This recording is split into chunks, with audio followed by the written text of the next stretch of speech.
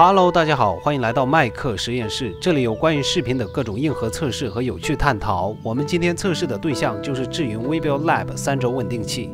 智云 vbl 稳定器，不管是外观还是操控，相较于智云以往的型号来说，都是一个颠覆。机身收纳后仅 A4 纸大小，承重却达到了3.0公斤。提壶加竖持模式，让用户可根据拍摄需要灵活的选择。三轴锁扣既方便收纳，又能防止转场过程中的磕磕碰碰。双层快装板让用户能实现快拆快装，迅速切换拍摄模式。此外，还有 WiFi 图传、Vio Touch 等功能。拥有这么多创新性的设计和讨人喜欢的颜值，微表斩获双料设计界顶级大奖，真可谓实至名归。但是我们今天分享的内容不想延续和颜值这些网上已经讨论了很多的话题。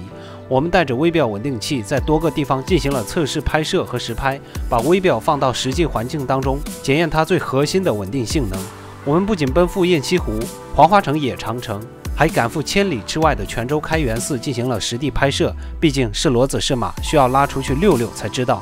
为了测试微表的基础稳定性能，我们准备了索尼 A7M3 加 G Master 2470和索尼 A6400 加适马16 1.4两个组合。同时，我们把测试分为正常走路、猫腰走路、慢速奔跑和急速奔跑四个场景，以此观察微表在不同承重的不同运动状态下的表现。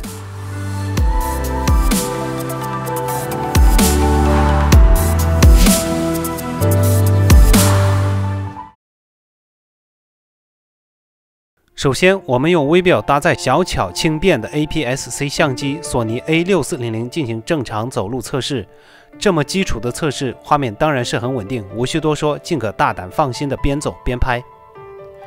如果需要进一步拍摄出更加稳定的画面，那就需要猫着腰走路了。猫着腰走路拍下来的画面，比正常行走的时候要更稳一些，但这样会稍微累一点，毕竟想要多一分回报，就得多一分付出啊。在慢速奔跑拍摄的时候，微表能够过滤掉大幅度的抖动，但是还是免不了会有一些小幅度的抖动。在运动画面足够精彩的时候，观众基本上也会自动忽略掉这种抖动的存在。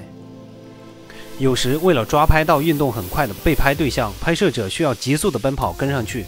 我们模拟这种运动，端着整套设备往前奔。在这种运动中，画面的抖动幅度自然比较明显了，毕竟这对稳定器航向轴的电机扭力是个不小的挑战。刚才进行的是承托索尼 A6400 加适马 16F1.4 这套设备的稳定效果。接下来，我们把这套设备换成索尼全画幅 A7M3 加 G Master 2470这套重磅的组合，再进行同样的测试。镜头设定在广角端，正常走路的情况下拍摄，微表 hold 住全画幅微单相机没有丝毫问题。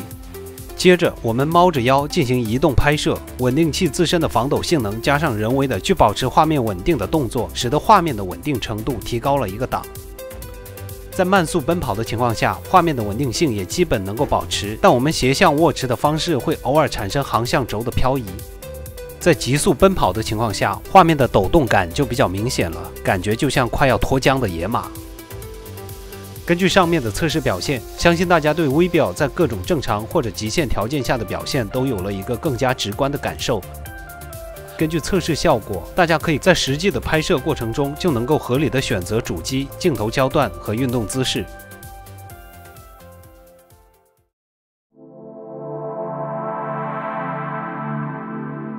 都说不到长城非好汉，微表在半修复状态下的黄花城野长城会有什么样的表现呢？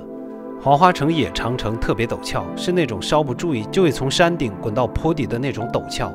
智云微表不到一公斤的轻量化设计，很适合在野长城这种极端的环境下进行拍摄。独有的提壶拍摄模式，既可以节省不少体力，还能将一只手空出来，在复杂的地形做自我保护。那么，在这么艰险的地方拍摄，会是一种什么体验呢？在野长城的不同地段，我们均拍摄了素材。先呈现一下在较为平坦的地段拍摄的画面，在这个场景里构好图之后，历史的苍凉感跃然于屏幕之上。随着镜头缓缓移动，感觉就像在翻开一页页历史。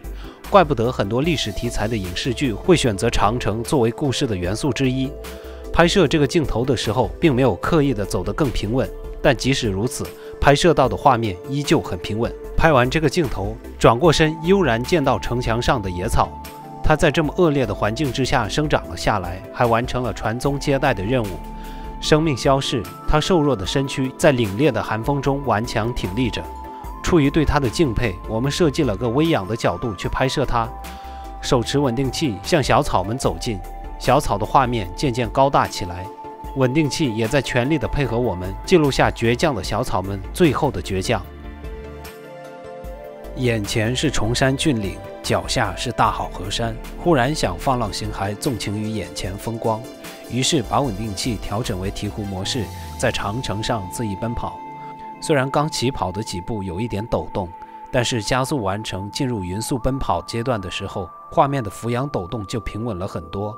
画面中两侧的城墙急速向后退，极富视觉冲击力，仿佛正在穿梭时空隧道。爬长城累，下长城似乎更累。走下阶梯，双腿踉踉跄跄，有一种泥菩萨过江自身难保的感觉。我们什么也不敢奢望，只想快速安全地离开长城。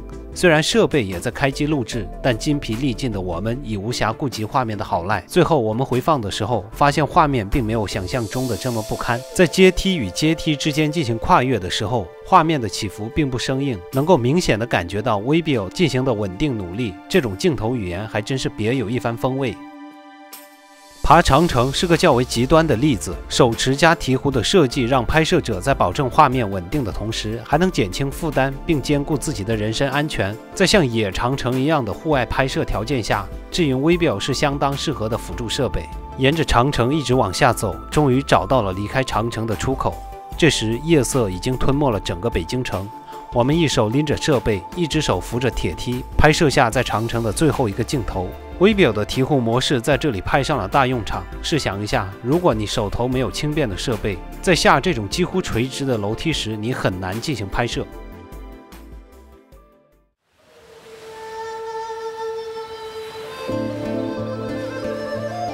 如何在感受目的地风土人情的同时，选择最轻便的设备组合，拍摄出唯美的视频大片，是一个大挑战。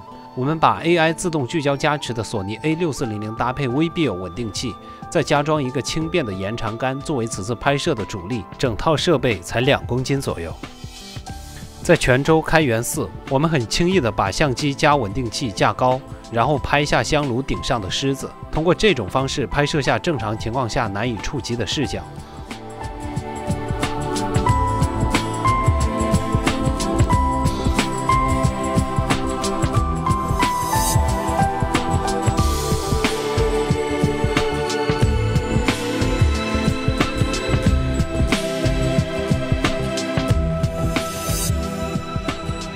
我们也可以把小巧轻便的设备穿过香炉的散烟口，拍摄出特殊的贯穿效果画面。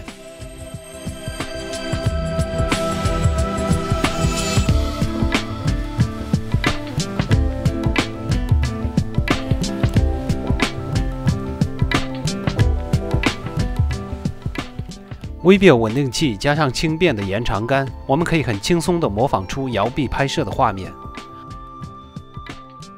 把设备举高，让机器居高临下的俯视拍摄场景的画面也很容易实现。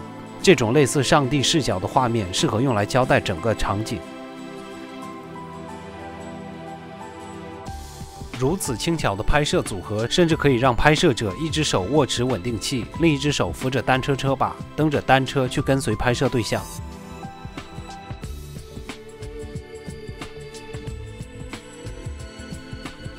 高龄大树的沧桑感，在 VBIO 的辅助拍摄下，也呈现出不同以往的特殊视角。当然，最常拍的还是街上来往的人群以及特色店铺，俗称扫街。对于扫街这种拍摄工作，VBIO 更是不在话下。智云 VBIO 对比传统稳定器来说，有了很大的颠覆与创新。提壶模式可以在很多时候解放拍摄者。